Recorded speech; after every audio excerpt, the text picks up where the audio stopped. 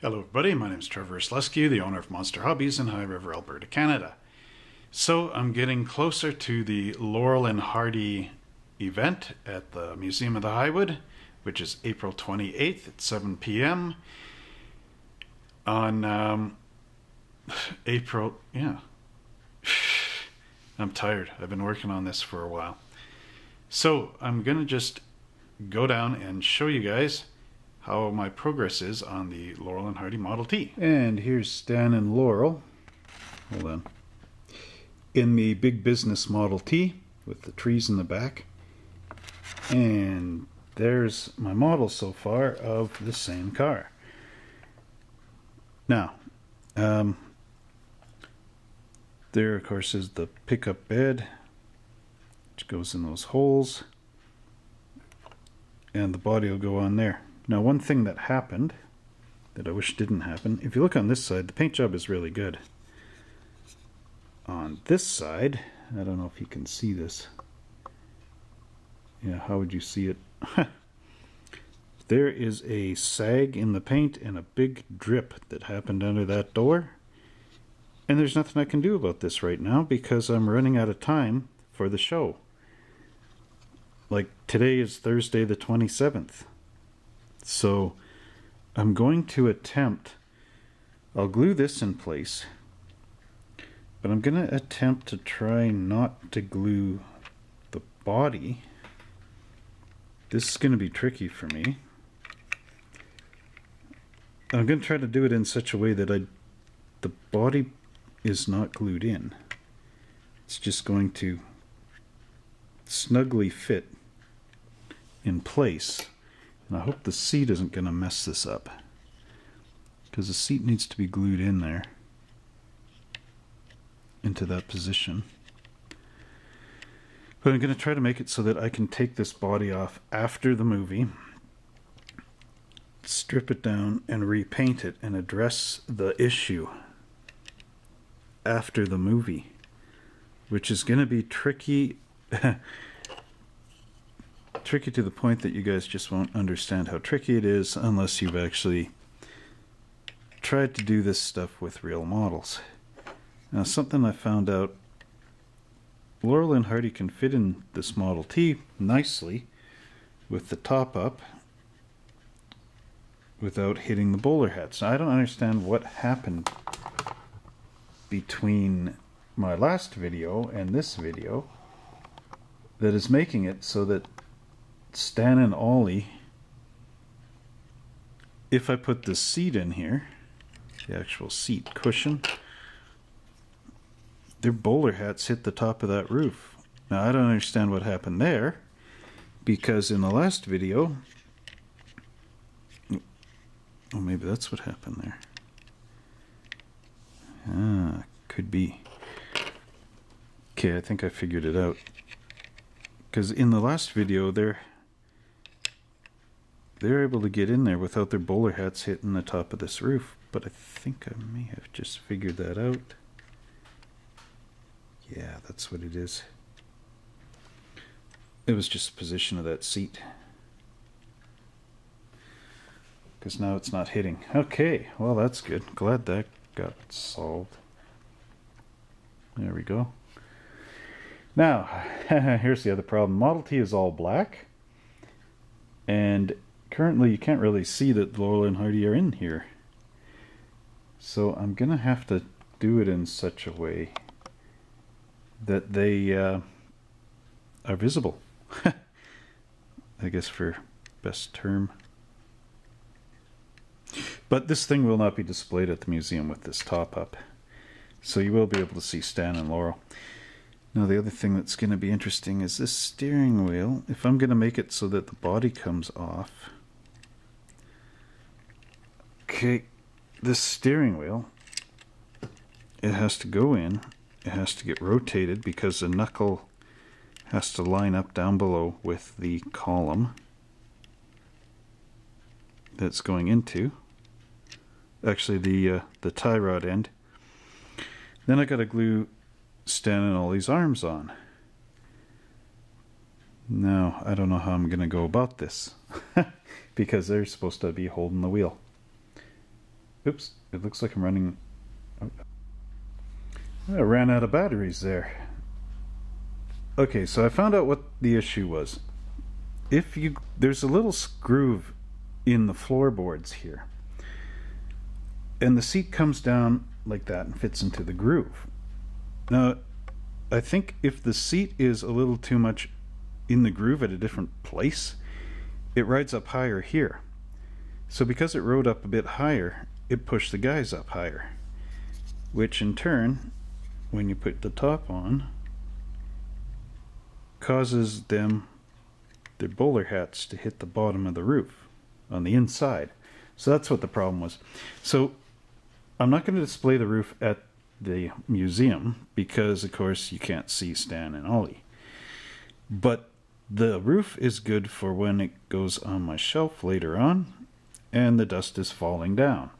Now, if the dust is, if they're not there, of course, the dust is going to fall into all the cracks of Stan and Ollie, and uh, that's going to be a pain. I usually, I have this number 10 brush, which I use just to brush the dust out of everything, but, you know, it's a pain. But the other thing I found out is by moving the seat and everything, it actually tightened up all the the spaces between the hood and the um, the cowl. So yeah, obviously I had it wrong. Now, I got these spare Model T tires here. Hang on a sec. Can I? There we go. These Model T tires are extra. What I did is I took one of the wheels because I've got six of these, remember, from previous videos.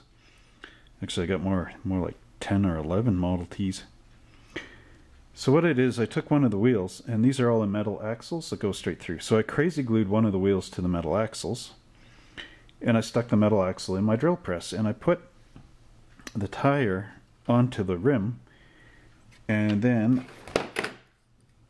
put it in the drill press, of course, and put it on the sandpaper block and hit the trigger. And I ground the uh, seam line out of the the tires as best I could. So I'm going to change the tires on here for these ones that were all machined in the drill press. And I'm going to paint Stan and Laurel. So let's go and see that. I mean, I'm just going to swap these, nothing too exciting. But let's go see painting Stan and Laurel. So here's an interesting question.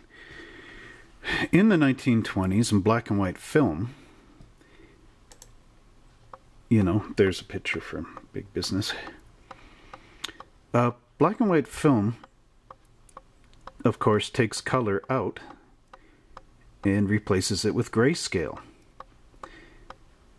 So now the question is, here I'll just zoom up here. Up. Oops. Okay, well, I guess I'll take that up on the tripod. Okay, zoom up some more. Here we go. Now the question is, of course, when you're going into black and white and everything goes grayscale, what is the actual color of clothing and whatnot that they're wearing? Now I don't think everybody in the 20s had like black and gray clothes. Now, of course, their bowler caps would be black because that's just the way it goes. Um, now I'll just close this up for a sec. Here's a colorized picture of uh, Stan and Laurel in in that Model T. Now the the question is, this may have been colorized, of course, after the film. Um, it's hard to tell, like nowadays, especially with computer colorization. But one thing is that Ford would never have had a blue Model T.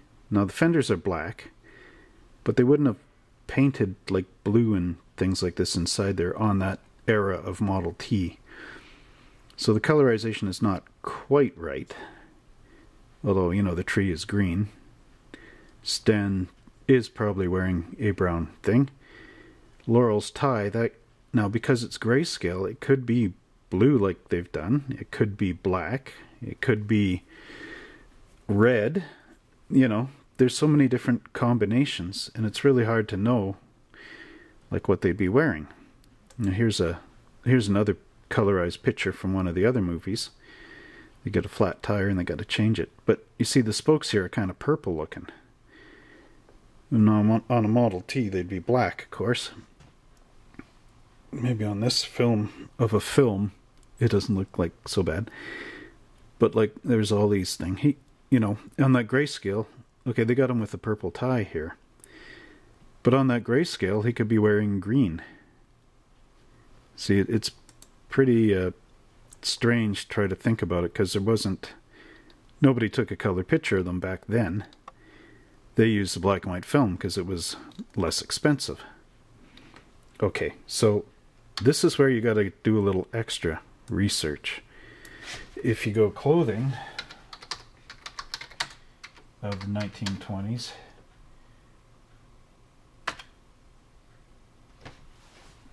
here you get like different different pictures on your Google search. So we click over to men here. Now, see like this picture here. Okay, we'll zoom in. Zoom in, eh? Alright, so now we've got like Bob and Doug McKenzie reviewing 1920s shirts, eh? See, like, look at this. Okay, there's green. If you were to grayscale this, this could come out black. So again, it it could be preference as to uh, how this goes. See, like here, you got like a really dark gray, a blue gray, a silver gray, you know, brownish, a green gray. Oops. Okay, just looking at related pictures. There's like a blue black, a gray, well, that's 1914, but still, you know, it's going to be around that time period. But you see, there's a grayscale, this guy. This could be black, this could be green. You know, his pants could be really dark brown. Although it's a suit, so they'd probably be the same colors. But again, you don't know. There's sepia tone. So, I guess in a way you could kind of just make it up. Huh, hats of the 20s. Yeah. So there you are. Here's to you. okay, so I'm going to look up some of these and then I'll just figure out a color for Stan and Ollie and we'll go with it. And these are the Citadel paints that I used for the skin tones for Laurel and Hardy and this is how they ended up. Kind of skin tony. It uh, looks a little clunky all over their clothes there, but I'll soon fix that up. And I thought I'd put uh, Stan's hand up holding his, his uh, bowler hat on. So anyway, let's go see what they look like when you give them mustaches and hair. And about 600 paint colors later and 9,000 hours in the future, we have uh, Stan and Oliver Hardy with their arms glued in and painted up. And ready to be displayed in their Model T. so here we have the Laurel and Hardy Model T from Big Business. Pickup truck that they were driving. The only thing I couldn't really add right now is the Christmas tree in the back of the pickup bed. And that's simply because I don't have a scale tree small enough. they all were way too huge. Anyway, let's let's take a look at Laurel and Hardy right there. Now I use the Games Workshop Citadel paints with their eight eight paint process. Sorry, six paint process. So that would be a base color followed by a uh, a shade paint followed by layer 1 and layer 2 and in some cases dry brushing with the highlight color. So I'm just zooming back so this comes into better focus. Now uh, for Stan, um, I decided to put Stan Laurel, that is. I decided to give him like a green sweater thing.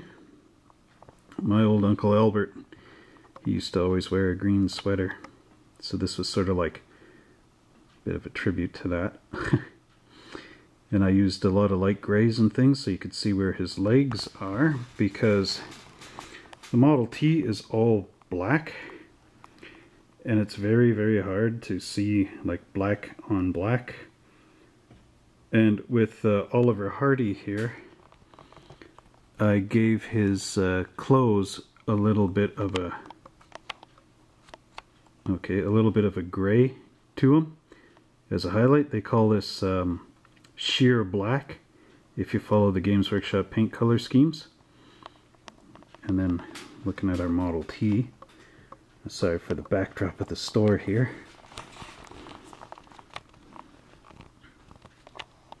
Okay, try to get this in focus here. Now, there we go. The Model T. Oh, I got an idea. There we go. Ground level. Well, little bit ground unlevel. I got the uh, tripod skid pad on here. Okay,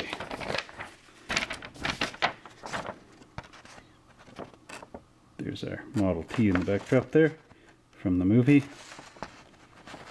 I don't know, whatever. Let's just turn this around for a minute. Okay, now with the Model T, when you glue your headlights in, you're going to have to maneuver them because there's lines in the headlight that are etched in on the plastic. There we go. Etched in on the plastic and they run up and down, which is vertical. So you want to make sure you rotate those headlights around in there before you add the drops of glue in. I usually use liquid glue and I paint it on the edge in between the clear and the actual plastic, black plastic headlight bezel. And that's so that they can actually glue in place. Right, there's something I want to point out here with the Model Ts. When you're building the AMT kit, you may think that you're running into a problem here, but you're not. Now this is the thing here. There's the front of the rear fender and there's the tire. And it looks like the tire is about to hit that front of the rear fender. Now you may think, okay, well this the frame needs to be cut here and this needs to come back so that the wheel is centered to the center line down here and not missing the hub so that there's a lot of room in, in between there to there, right? That is the incorrect assumption.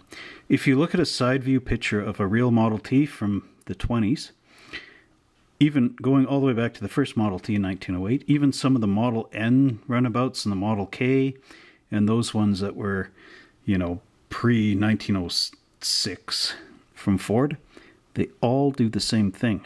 There's hardly any distance between there and the tire itself.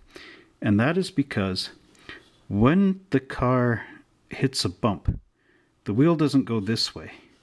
It goes up and down, straight up and down. Therefore, this here wouldn't matter because when the wheel goes straight up, it actually moves out of the way of that fender arrangement. So when you're building your AMT Model T kit and you run into this situation, you are correct. It is supposed to be like that. Now the other thing is the height here looks incredibly tall. Again, if you look at a Model T from 1924, that is the correct height. Because remember, these cars actually do sit up this high because they were designed for going over rough roads that we don't experience. All our roads these days are paved and everything. And that really came in in the 30s more than anything. But in the early days, all the way up to the 30s, there was a lot of clearance for those bad roads so that if you hit a bump, you uh, wouldn't bog your car into it. And I know I've seen a documentary in Australia, Model Ts. Um, farmers in Australia actually really love them because there's a road in Australia that's still a dirt road going into our generation that um, when they get the rainy seasons, just turns into gigantic mud for miles. Now, the reason why the, the Model T was so popular was because the wheelbase from like there going back to the other wheel this way, right? The width, the width of the car was the same identical width as the horses and carriages. So the horses and carriages would go down that that muddy road and they would carve the wheels in the wooden heavy wheels of the, the buggies would carve into the mud. Now, then the guy with the Model T could drive in, you know, if he was lucky, wasn't the first guy on the road that day, he would actually drive in the ruts made by the wooden horse carriages.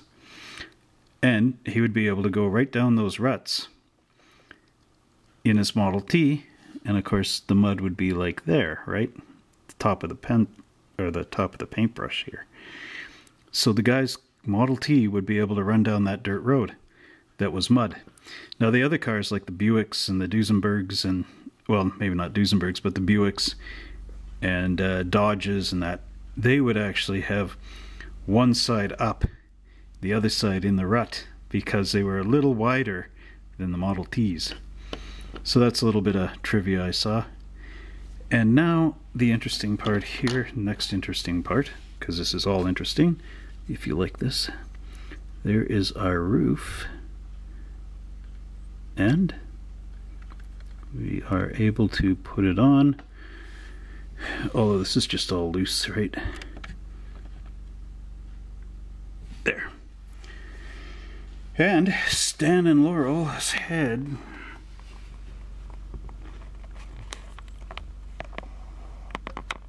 let's get this in focus.